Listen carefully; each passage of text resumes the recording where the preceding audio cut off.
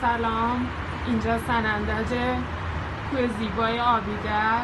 تنها جای تفریحی مردم سنندج که از چند ساعت پیش تا الان اینا دارن اینجا رو برای ما قبرستون می‌کنن.